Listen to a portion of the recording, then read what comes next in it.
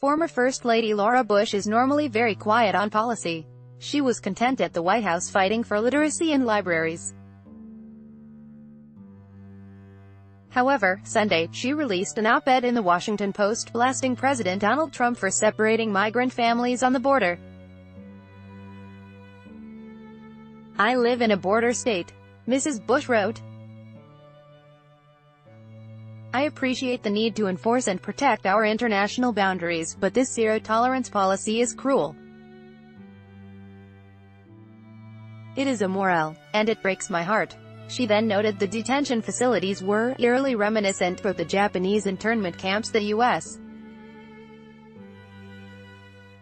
built after Japan attacked Pearl Harbor during World War II.